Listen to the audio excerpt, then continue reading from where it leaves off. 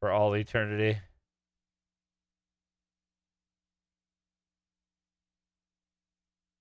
Um,